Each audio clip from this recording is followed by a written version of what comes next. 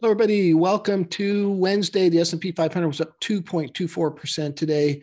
Uh, second green shirt day in a row. Very powerful. Federal Reserve came out today, said that they're going to raise point uh, one quarter of a point on the interest rates, uh, and they released their dot plot, which is kind of their guesstimate on how many points they think they might have to do for the rest of the year, uh, which is not binding, but just somewhat interesting. And they said that maybe six more increases, total of seven.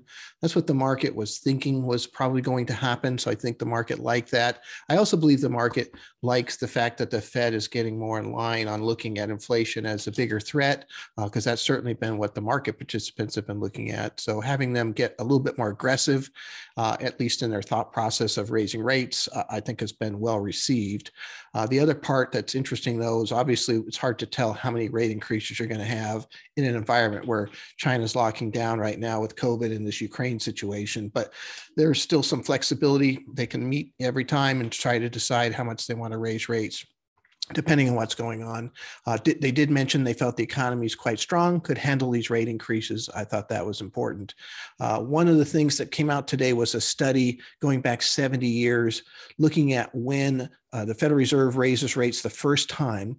How long does it usually take before we have a, a recession? We don't always have a recession, but how long does it take if we do have one? The average is three years uh, from the first. So that would be March of 2025, and theoretically would be the start of the average recession after a first rate increase.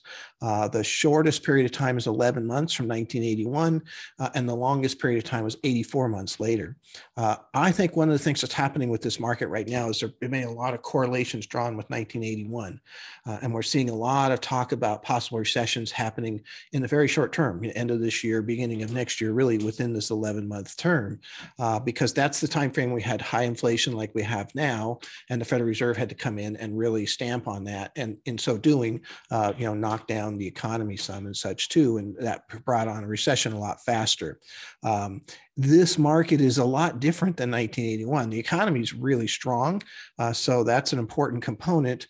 Uh, but if you look back to 1981, you know we didn't have a pandemic, we didn't have trillions of dollars that came out in stimulus, we didn't have supply chain issues uh, to this degree uh, that are really hampering the you know supply of goods. We because the pandemic has happened, we've had this scenario where more money's been going into goods than services. For example, people aren't traveling as much, and when that happens happens, you end up with more money chasing fewer things and the price goes up faster. If we can get back to a situation where, you know, we get a more even spread of our monies, you know, as a country, uh, inflation could drop, at least in that regards, uh, just from that standpoint. None of these were in the 1981 scenario that are here. Uh, and so I could go on and on. There's a lot of differences uh, because of the pandemic uh, scenario that we're in right now and the reopening and all those different types of things. So I caution people from feeling that there would be a recession in, in immediate term here. Uh, the market seems to be, you know, factoring that in, and that's partly why we've come down here some. Uh, and might happen, something we watch for. Uh, I just would be really surprised uh, because this is such a different situation. I still think it would take an awful lot to turn this economy down from where it is now. personally, I mean, we just had had uh, seven percent gross domestic product growth for the fourth quarter. We have 11 point something million open jobs. Those are not recessionary signs to me personally. Uh, they're partly why we're causing inflation uh, because of this kind of hot growth. We did see retail sales come in a little bit lower today than expected.